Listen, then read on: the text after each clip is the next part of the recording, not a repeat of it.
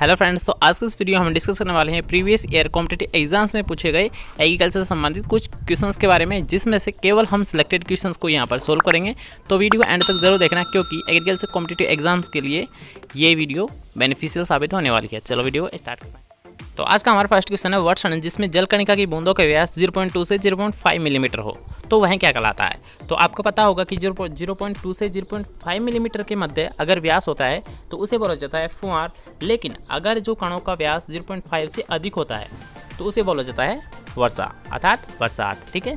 कृषि पारिस्थितिक खंडों की संख्या होती है ट्वेंटी ठीक है? नेक्स्ट क्वेश्चन है, मौसम का मध्यम परिसर पूर्वानुमान माना जाता है, अर्थात मीडियम रेंज की जो फोरकास्टिंग होती है, वह कितने दिनों के लिए होती है?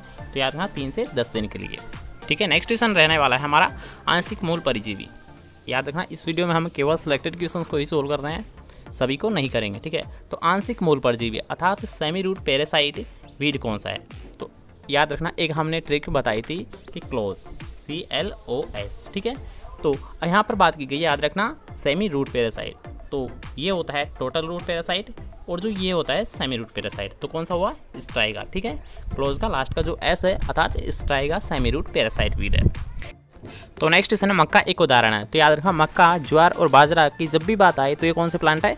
सिफोर प्लांट है, ठीक है? नेक्स्ट क्वेश्चन है गेहूँ के पकने के लिए औसत तापमान, अर्थात ऑप्टिमम टेम्परेचर कितना होता है? तो याद रखा चौदह से सोलह डिग्री सेंटीग्रेड तापमान, ठीक है? नेक्स्ट क्वेश्चन है गन्ने के पुष्क्रम को क्या बोला जाता है? अर्थात जैसे कि हमने पिछली वीडियो में डिस्कस किया था कि गन्ने के पुष्क्रम को बोला जाता है एरो और इस क्रिया को क्या बोला जाता है? एरोइंग तो याद रखना, कौन सा राइट आंसर है?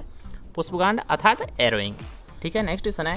निम्न में से जो कि, कौन सी किस्म राजस्थान राज्य के असिंचित या देरी से बुआई वाले क्षेत्रों के लिए उपयुक्त मानी जाती है? अर्थात लेट सोविंग और शुष्क क्षेत्रों के लिए कौन सी बेस्ट वेराइटी है? तो कौन सी है? आर डी पच्चीस ज़ीरो आठ।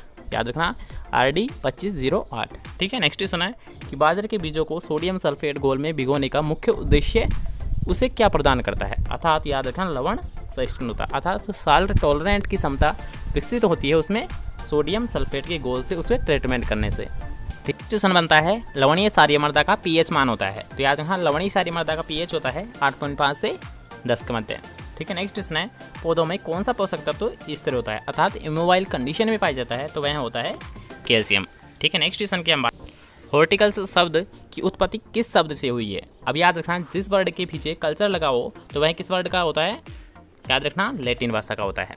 याद रखना, जिस भी वर्ड के पीछे अगर कल्चर लगा हो तो वह होता है लेटिन भाषा का, और अगर किसी भी वर्ड के पीछे लॉजी लगा हो तो वह होता है ग्रीक भाषा का शब्द। अब इससे आप जान सकते हो कि हॉर्टिकल्चर, अर्थात कल्चर लगा है तो लेटिन भाषा का शब्द है। ठीक है नेक्स्ट क्वेश्चन गोमा कीर्ति किस फल की किस्म है? तो एक मोस्ट पॉपुलर वेराइटी है, किसकी है? बेर की है। ठीक है नेक्स्ट क्वेश्चन है कि पपेन किस फल से प्राप्त होता है? तो पपीता से प्राप्त होता है और इस याद रखना कच्ची अवस्था में। पपीता से कच्ची अवस्था में जो सफ़ेद मिल्क जैसा जो प्रोडक्ट प्राप्त होता है, उसी को क्या बोला जाता है? पपेन बोला जाता है। ठीक है नेक्स्ट क्वेश्चन है कि जेली बनाने हेतु सबसे उपयुक्त फल कौन सा होता है? तो याद रखना कि जो जैम के लिए होता है, सेब, और जेली के लिए कौन सा होता है? अमरूद।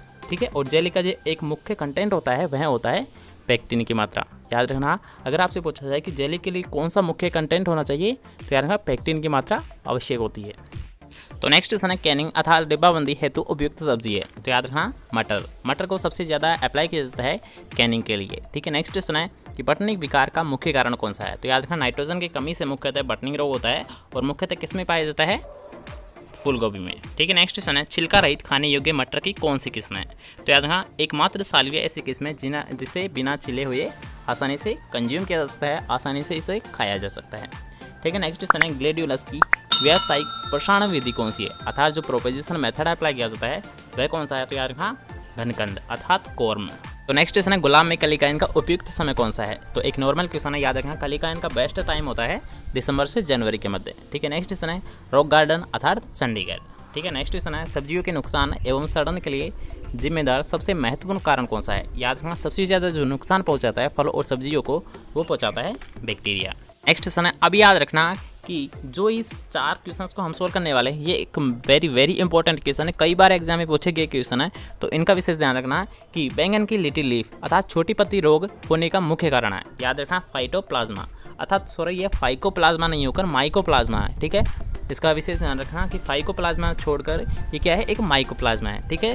ब्रिंजल का जो लिटिल लीफ डिज़ीज़ होती है, वह होती है माइक्रोप्लाज्मा के द्वारा, ठीक है? नेक्स्ट क्वेश्चन है फूलगोभी विवटेल जो कि एक मोस्ट कॉमन डिज़ीज़ है, कई बार एग्ज़ाम में पूछी जा चुकी है तो मोलिब्डेनम की कमी से होती है, ठीक है? नेक्स्ट क्वेश्चन है कि मूंगफली का जो टिक्का रोग होता है, किसके कारण होता है? तो यार यहाँ एक फंजाई होता है सर्कोस्पोरा ठीक है? सर्कोस्पोरा अरिचिडिकोला नामक एक कवक होता है, उसके कारण टिक्का डिज़ीज़ देखी जाती है मूंगफली में। ठीक है नेक्स्ट क्वेश्चन है कि टमाटर की पछेती झुलसा रोग से संबंधित कौन सा कवक है?